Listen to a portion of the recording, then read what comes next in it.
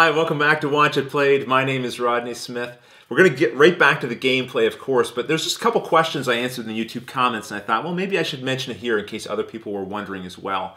One of the questions is, can you attack more than one villain per turn? The answer is yes. So let's just say I built up an attack point value in my hand of seven points. And then there was two villains in the city, one that had an attack strength of four, and another one had attack strength of three. You could fight both of them in that one turn. Just make sure you resolve them separately. The other question I was asked is, when do you pay that recruit cost? Is it only when you're recruiting the card? And the answer is yes. Once you've got that card in your hand and you want to play it from your hand, it doesn't have any cost associated with it. You can play all the cards from your hand for free.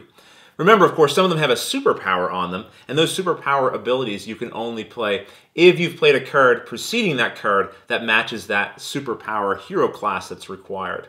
All right, so hopefully that clears it up. As always, if you have any questions at all about a game, just put them in the YouTube comments below. I'll always answer them as soon as I'm able to, and hopefully that will clear things up. After the short break, Luke's going to join me, though. We're going to continue our playthrough.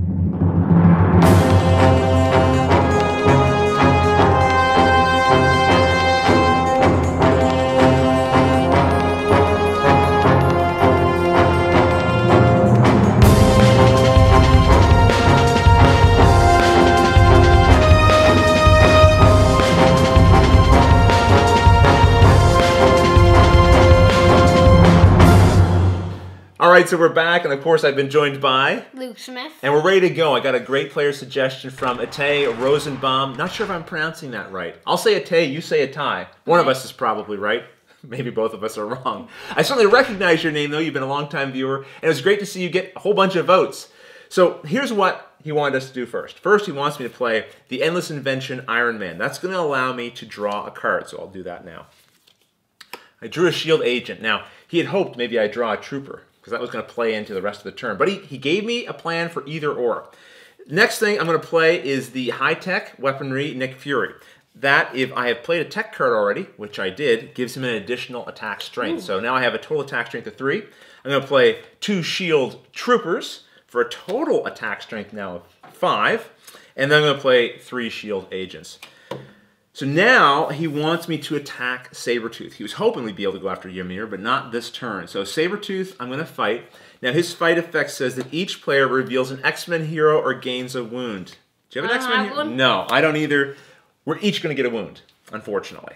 Great. So I'll take mine. The wound goes to your discard. Now I still have some recruit points. Now, Ty said I should not recruit that Spider-Man. I should save it for you. Thanks, Ty. All right. So instead, I am going to recruit, though. I can recruit one of these shield officers. Remember, these are always available. There's a nice big stack of them here. It has a cost of three, so I'll recruit that. All of my cards go into my discard pile. And I know I'm not going to have enough cards here to draw a full hand of six, so I'll be shuffling my discard pile while I do that and draw three cards. Luke's going to think about what he wants to do for his turn. Well, I start with a villain card, of course. That's right. Let's see what you got there. Enchantress. Enchantress. Okay. Fight! Draw free cards! Oh, Yay! that's a good fight effect. However, she's got a strength of six. Now, she's going to come into the sewers and push everything over. Now, here's another question I was asked. Yeah, we have a gap right here? You don't push over the blob. You only push a villain if another villain forces them out of the spot they're in. So instead, these are just going to fill fill over into this gap here. Good you killed somebody. Yeah, it's good we made that empty space there because now the blob doesn't escape this turn. Okay, Luke, what have you got in your hand? Anything worth doing? I have a wound. Yay! it's too bad that wound has Wolverine, but it's not as good as a Wolverine card for yeah. sure. What else you got? Um, one shield trooper. Okay, a shield trooper give you attack strength of one. That's and not going to do much. Four shield agents. Worst hand ever. not great. Well, what are you going to recruit? Anything? Spider-Man. Okay, so Spider-Man's coming out. Replace him with another card. It's an Iron Man card. It Can't is Repulsor Ray's Iron Man. Okay, so you're done, right? Yep. Everything gets discarded. You get to draw six new cards. And now I'll think about what I want to do for my turn. Okay, so I've got a bad hand, but it's bad in a good way. But before I play it, of course, I have to draw yeah. a villain card. So let me draw a villain card. Okay. Master Strike! Yeah, it's a Master Strike, and actually it's going to cancel. Ignore what I just said. Now this hand is just bad. Um, so the Master Strike means that you have to reveal a tech hero uh, from your hand. We get that information because the Master Strike information is on the Mastermind card. And I don't have a tech hero to reveal. Okay, so we have to take two cards from our hand, put them face down on our, our draw pile. Oh, this is like just a nuisance. I okay. Ugh. Ugh. So I'm putting these two down. The reason why I'm frustrated here is I I have three wound cards in my hand, and if that's bad, but if I want to spend my whole turn, as long as I don't recruit anything or fight anything, I can just get rid of all my wounds. Yeah. I, I put one of my wounds back in here. Ooh. Okay, so I am going to get rid of these two. I'm going to KO these wounds. Now, the reason why I didn't get rid of all of them is because I also wanted to play Battlefield Promotion Nick Fury, which allows me to KO a, a shield agent from my hand, a shield hero, sorry, from my hand. And I had this shield agent here I wanted to KO. And then I get to replace it with a shield officer.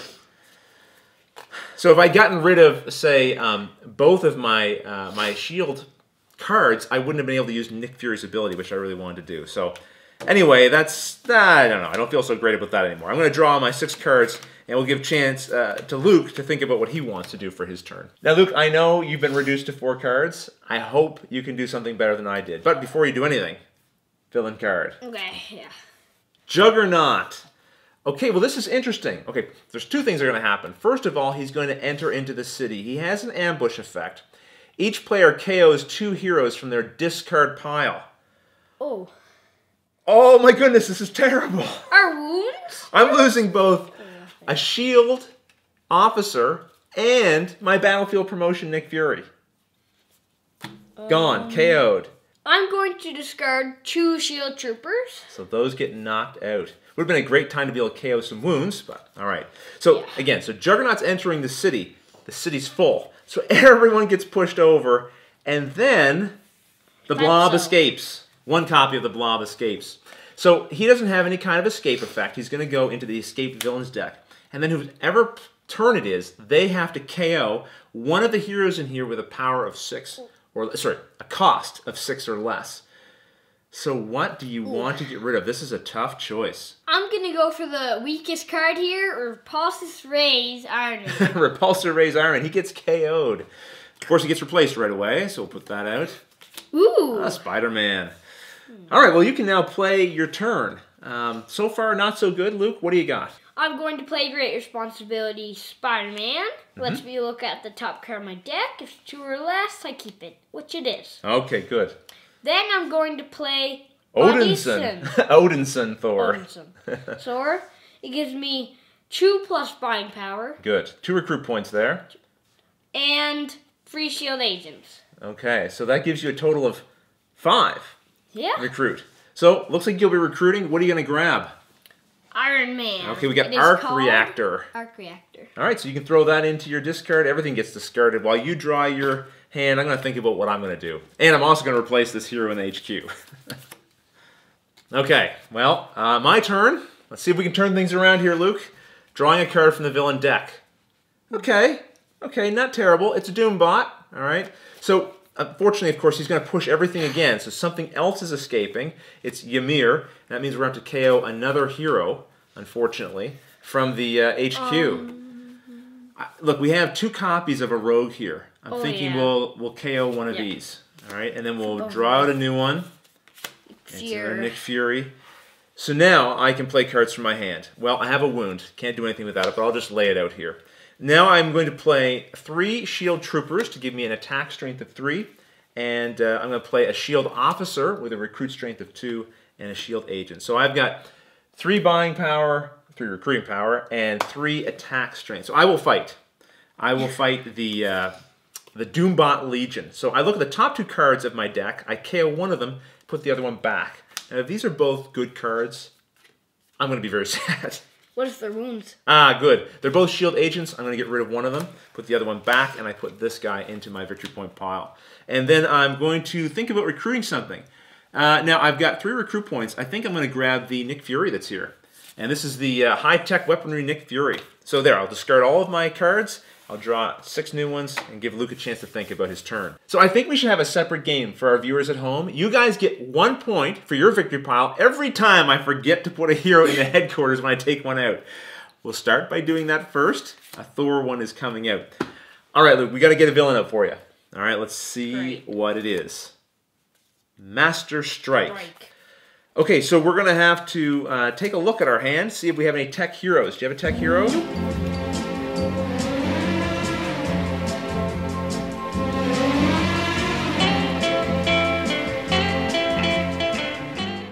I do.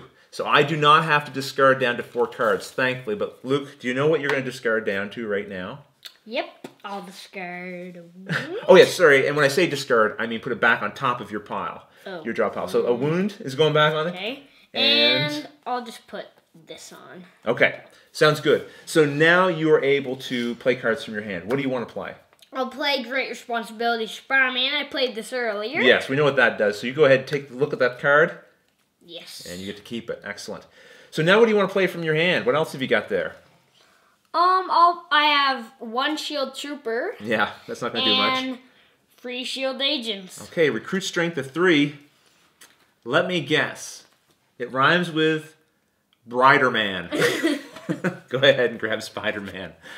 Not a lot of things rhyme with Spider Man. Uh, okay, so we're gonna look. No point for you guys because I remember flipping over an Iron Man. Okay, I'm gonna take a look at my hand, decide what I'm doing. Now Luke's all done. It's my turn. But listen, we're gonna stop here. You guys are gonna jump in and help us out. So the first thing I'm gonna do though, before we leave, is I'm gonna draw another villain. Show you guys what new villains are coming out. It's Mystique. Now, Mystique has an attack strength of 5, and her escape effect says that she becomes a scheme twist that takes effect immediately. So Oh, basically, great. if she escapes, she's going to activate another one of those dark portals.